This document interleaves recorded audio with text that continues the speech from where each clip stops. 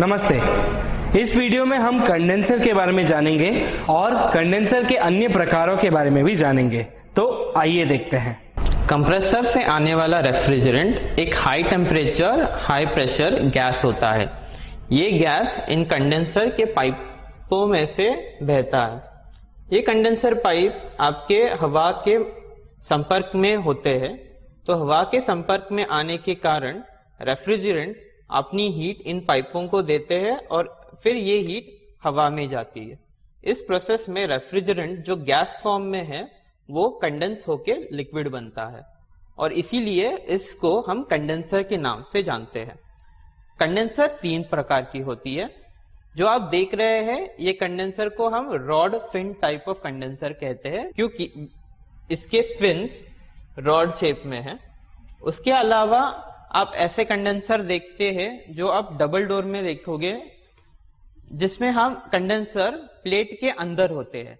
इसको हम plate fin type condenser कहते हैं। ये दो कंडेंसर जो मैंने बताए, ये नेचुरल कन्वेक्शन से ठंडे होते हैं। मतलब यहाँ पे हवा अपने आप घूमती है और अपने आप घूमती है और हीट को बाहर निकालने का काम करती है। जो तीसरा कंडेंसर है, ये फोर्स्ड कन्वेक्शन कूलिंग पे काम करता है। फोर्स्ड कन्वेक्शन का अर्थ ये है कि हम एक फ़ैन उसके बाजू में लगाते हैं, ये फ़ैन आपके कंडेंसर पे हवा फेंकती है। तो हवा फोर्स कर रही है इस कंडेंसर पे, जिसके कारण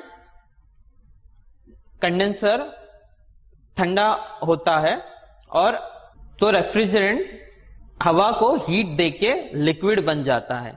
ये लिक्विड रेफ्रिजरेंट बाद में आपके ड्रायर से होके कैपिलरी के पास जाता है। तो इस वीडियो में हमने देखा कि कंडेंसर क्या होता है और कंडेंसर का क्या रोल होता है करके। अगले वीडियो में हम कैपिलरी और इवेपोरेटर दोनों के बारे में जानेंगे। हमारे साथ बने रहिएगा। धन्यवाद।